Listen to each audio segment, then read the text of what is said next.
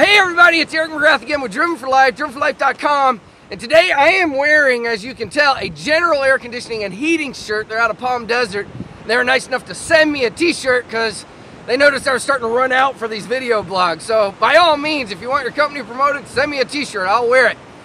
Yet today I rushed back down here to the beach once again. However, the main reason was because of all this fog that's back here because there's so many parallels to a fog in our life, if you want to look at things that way. Yet, you know, there are many times in my life that I've been kind of not knowing what's around the next turn or not able to necessarily see the direction that I'm going.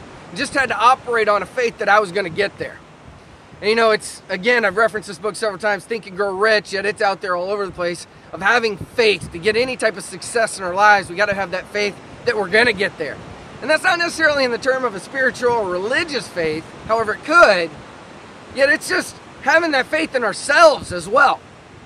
The faith that we know we're equipped, we've got the answers, it's going to be okay, we're going to make it, whatever that is. Because there are days that it's socked in, that we can't see that next turn, that we don't know where we're going. And when we have that faith, even when we necessarily can't see it, we know we're going to get there. And you know what? It's a mental attitude and belief and confidence in ourselves. So, obviously, today is about faith. Having that confidence and belief in ourselves that we're equipped, that we can go out there and we take on whatever the day presents. And when we have that faith, we get more out of our life and more out of our day. So, again, it's Eric McGrath, Driven for Life, drivenforlife.com.